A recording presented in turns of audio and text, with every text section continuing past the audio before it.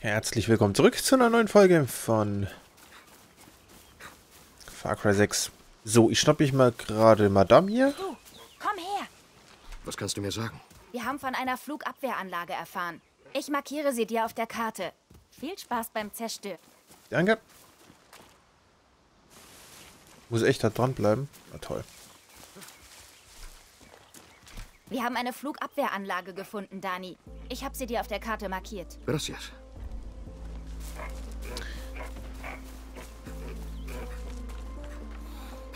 So, ist, der hier, ist die hier irgendwo zu Bruch gegangen? Sag Clara, sie ist unsere Rettung. Ah ja.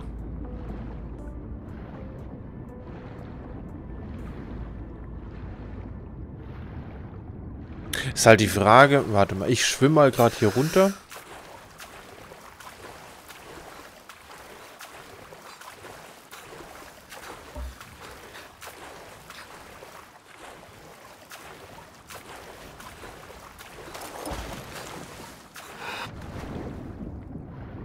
Hinweise, im Ge- ich weiß nicht, ob da jetzt mehr da drin steht, als dass es halt ein Boot ist.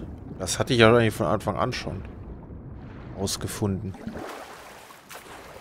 Das war jetzt ja nicht so unwahrscheinlich.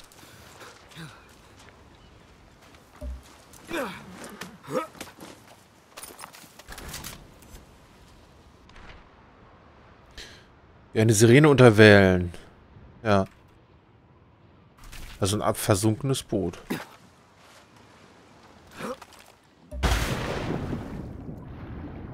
Steht da rosa dran?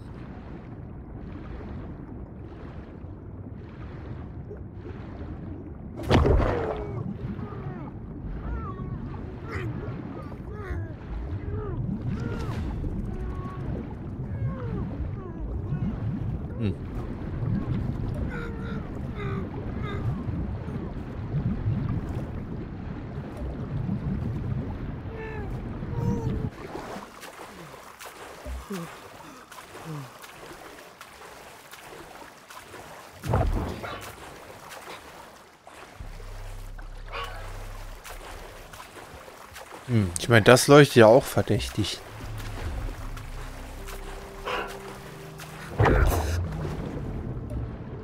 Boah, sind diese Haie nervig.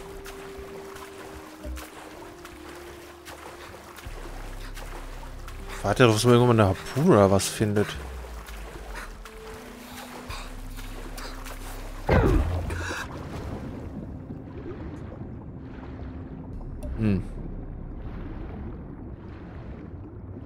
Warte mal, da schwimmt irgendwas rum.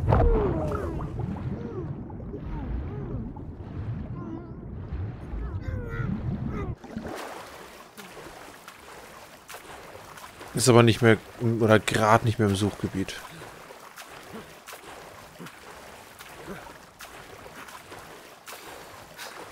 Wieso ist da hinten jetzt ein Pferd?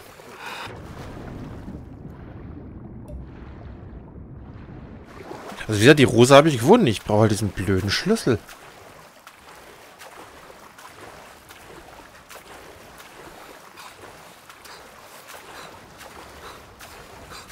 So hat er die vielleicht hier in der Kneipe verloren. Oder vergessen, weil er irgendwas gesagt hat, da geht noch ein Trinken. Das ist ja auch noch im Suchgebiet mit drin.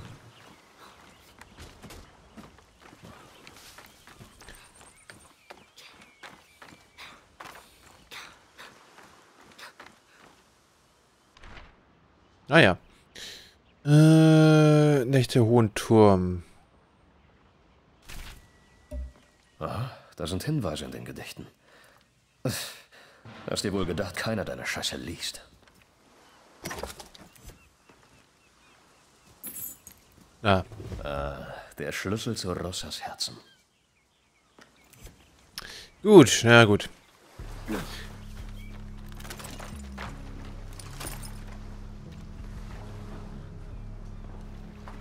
Das ist, das sind Fische zum Angeln tatsächlich, merke ich gerade.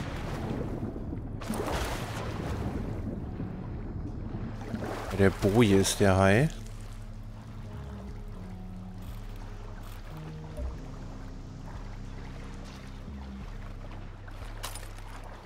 Aber was soll's, wie viel Schaden machen die ja nicht. Ist halt, wie gesagt, nur etwas nervig.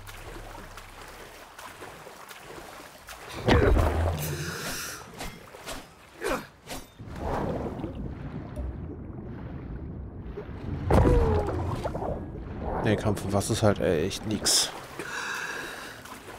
Möchte gerne was, wo ich mich wehren kann. Okay.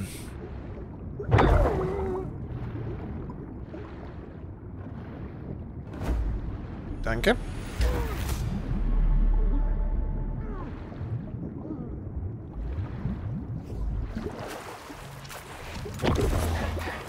Da haben wir sie doch. Praktisch. Alles klar.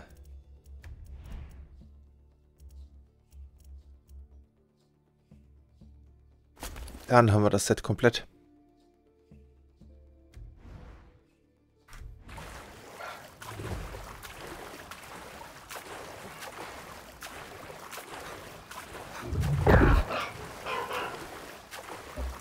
Alles klar, gut, dann machen wir die iranische Geschichte noch.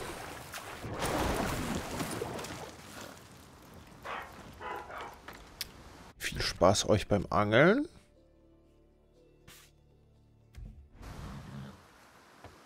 Das ist da hinten.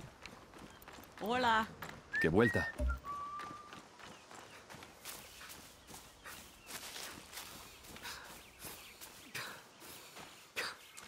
So, mein armes kaputtes Auto.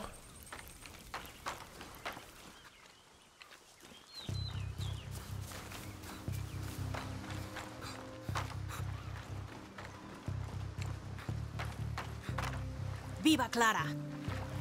Ja, ja. Du auch. Alles klar, Moni wäre voll.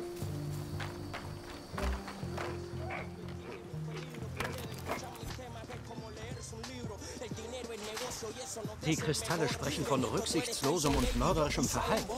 Wir müssen über ihre Probleme sprechen und ihren Geist befreien. Ist doch kein Haustier. Ah, Entschuldigung.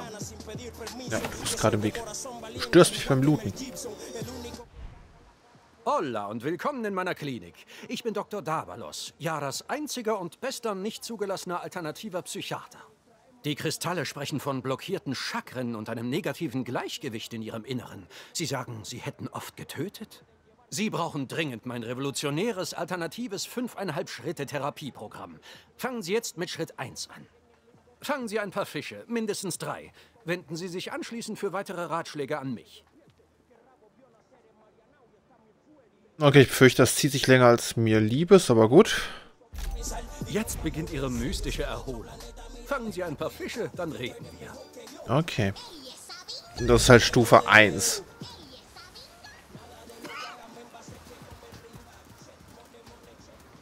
Hm, so, ihr habt ja da hinten auch geangelt.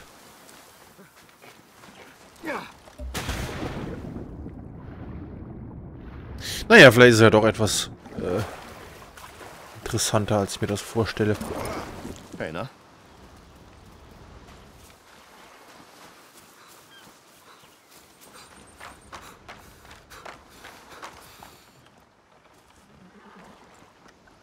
Ja, na gut, das sind Korallen.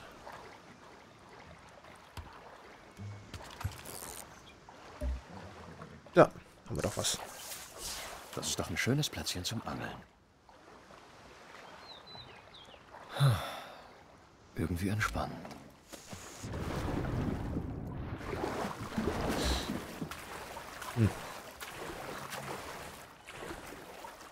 Ja.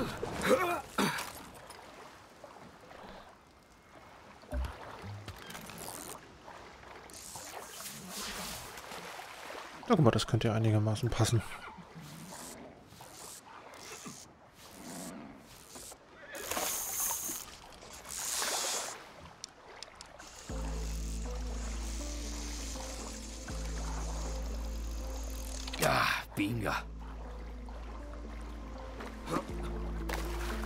Glaube, ich angle von hier aus.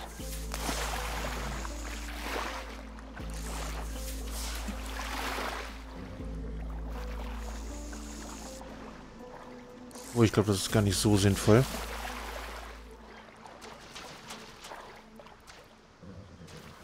Habe ich den Eindruck. Ja, das dauert halt einfach so lange.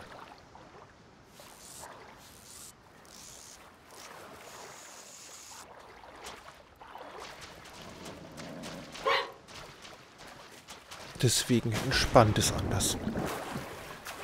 Also entspannt schon, aber spannend halt nicht. Aber genau, deswegen heißt der entspannt normalerweise auch das Gegenteil davon. Ihr seid hier am Angeln. So wird der Hund, der da Wellen schlägt.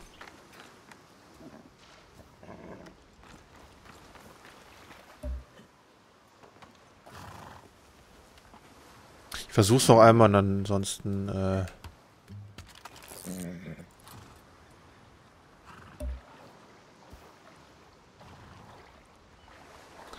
würde ich das glaube ich auch eher rausschneiden.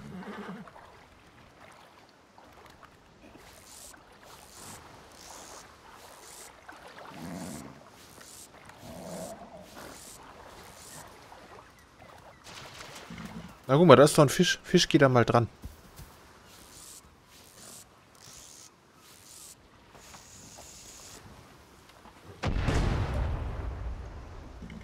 Man halt auch fischen.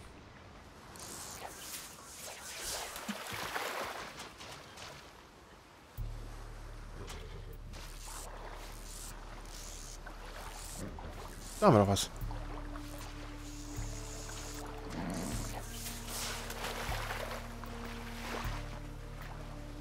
So, dann geht er mal dran, Fisch.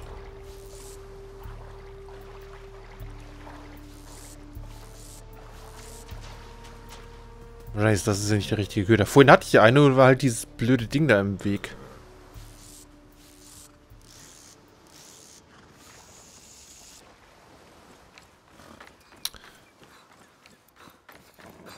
Ey, das dauert mir gerade einfach, auch ehrlich gesagt, einfach zu lange. Da habe ich echt gerade keine Lust drauf. So. Später.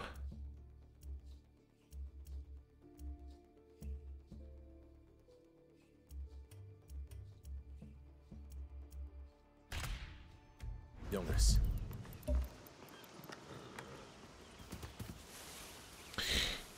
Dann mache ich aber noch einen kurzen Zwischenstopp im Lager.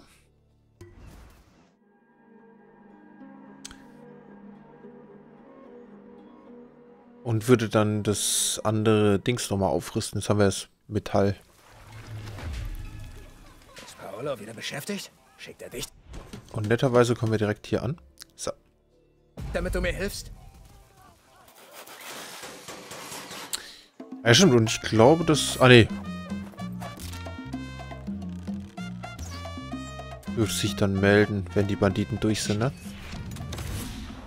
Dankeschön. Ja. Du spinnst. Eine neue äh, Schrotflinte. So, neue Jagdgebiete. Na gut, wir haben jetzt nicht mehr so viel Geld. Doch.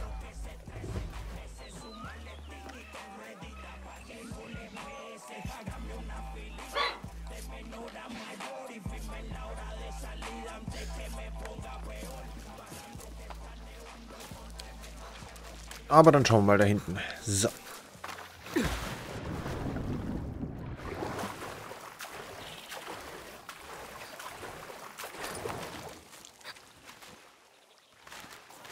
Moment. Quatsch, ich wollte vorher gucken, ob die Banditos fertig sind. Also hier unsere Rebellen.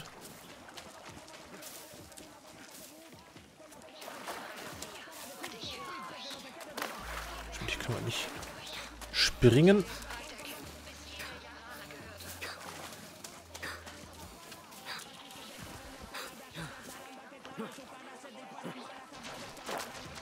Ja, und da, das ist hier nicht angenehm zu durchqueren, muss ich sagen, weil du halt hier überall hängen bleibst und nur diesen Dings da lang laufen kannst. Du solltest deine Ausrüstung auffrischen. Ah, nee, ich habe die zwei Stunden Dinger geholt. Okay, alles klar.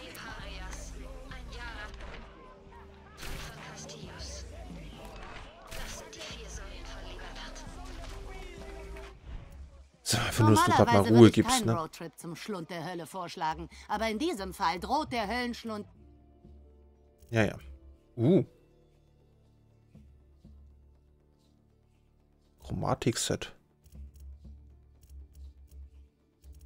Hm. Ihr könnt mir jetzt... Okay. Die sind eigentlich gar nicht schlecht, muss ich zugeben.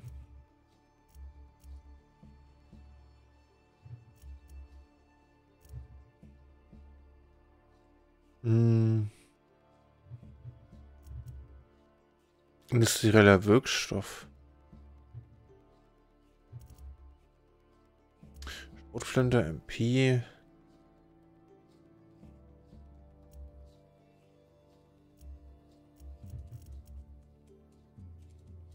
Freie Presse.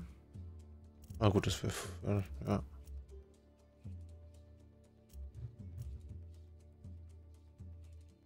Hm, Gamepad, ja, der Konami-Code. Ähm, okay. Normalerweise würde ich keinen Roadtrip zum Schlund der Hölle vorschlagen, aber in diesem Fall droht der Höllenschlund Yara zu verschlingen. Gut, das sind immerhin nur vier insgesamt.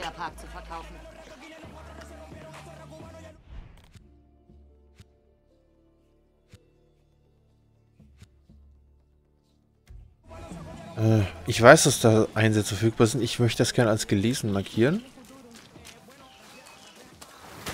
Ja, vielleicht gehe ich da später mit besserer Ausrüstung nochmal. Ich meine, das hier, dieses Schleichset hat sich ja doch schon bewährt, muss ich zugeben. Die Waffen ja auch.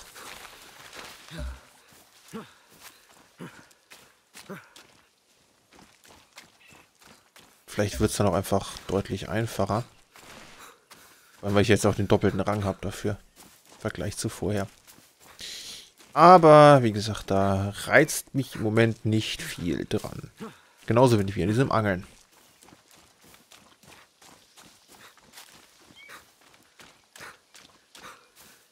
Andererseits, ich muss ja auch nicht 100% hier abschließen. Hab ich nicht vor, das dauert mir alles zu lange und macht mir zu wenig Spaß. Mach die Sachen, die mich interessieren und dann ist gut.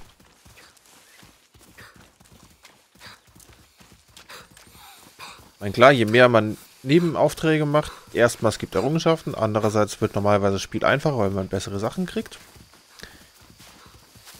Oder die Spiele werden normalerweise einfacher, aber dafür ist meine Zeit mir dann doch zu schade, mich halt mit Sachen zu beschäftigen, die keinen Spaß machen.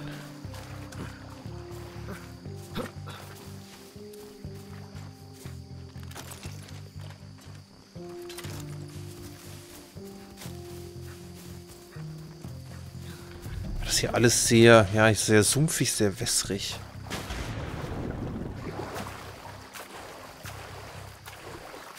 Gucken, wie wir uns dann hier durchschlagen können.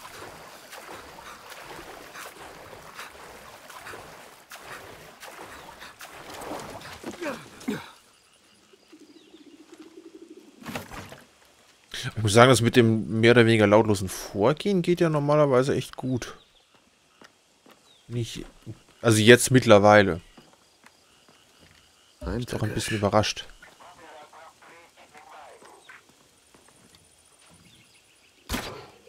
Du bist mein Liebling.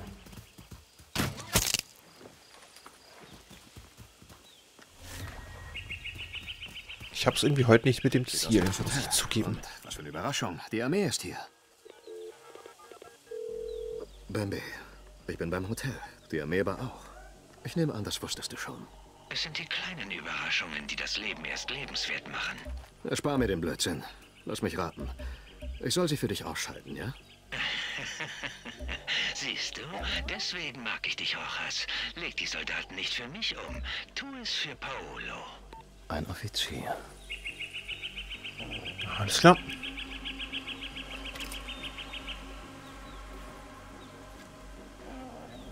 Dann kann ich hier schon mal die Viecher hier freilassen.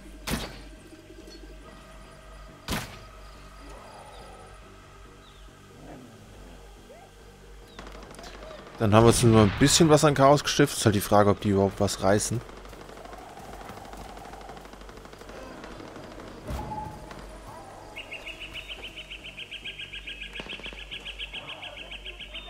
Schnapp den Scharfschützen.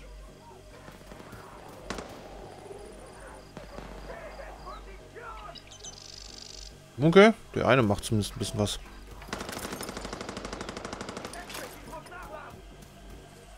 Das waren sie jetzt aber, oder? Ja. Andererseits müssen wir denn hier wirklich großartig schleichen vorgehen? Nee, oder?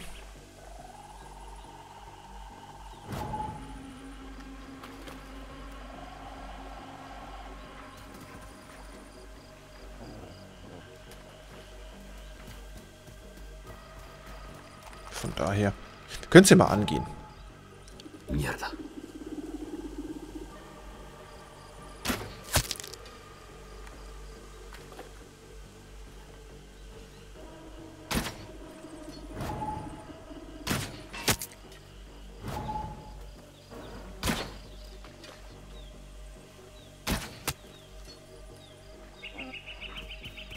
Okay. Da hinten noch einen.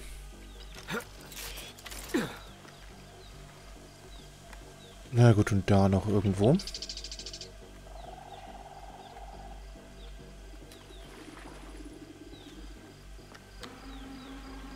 Okay, holen wir dich. Ah gut, Folge ist rum, aber haben wir ja gleich.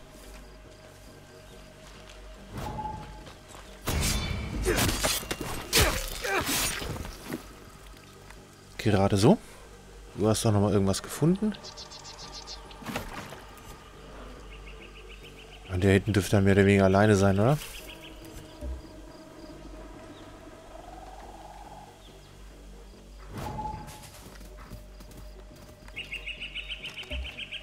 Ah, du bist's.